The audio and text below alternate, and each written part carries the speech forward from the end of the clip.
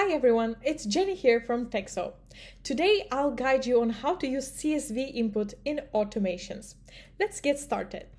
First, select your automation. For the purpose of this video, I will choose the LinkedIn profile autofollow.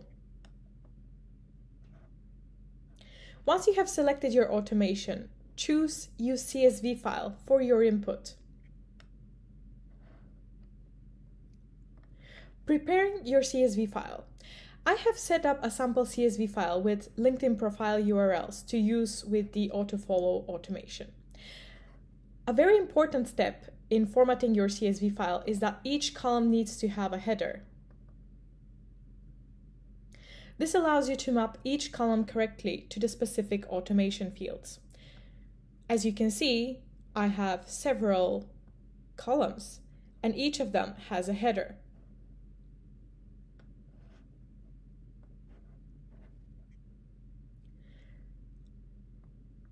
I can either drag or, and drop or I can browse my files to select the CSV file that I want to use.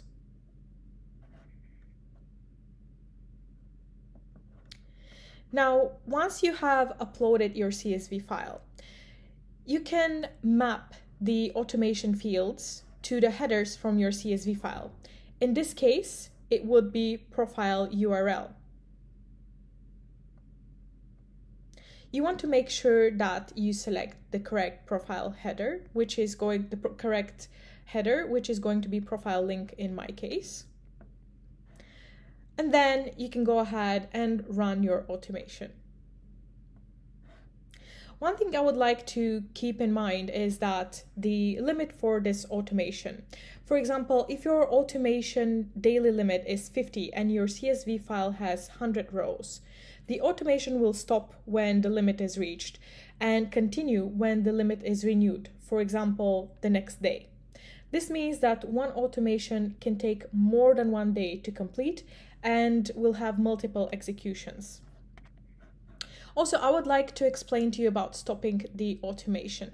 You will see a stop button here, which means that uh, this stop button will stop the future executions from processing. If you want to stop only the current execution of the automation, you can use the small X button here under the status.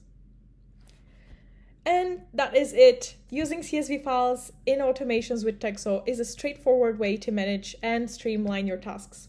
Explore these options and see how they can help you enhance your workflows. Thanks for watching and see you in the next one.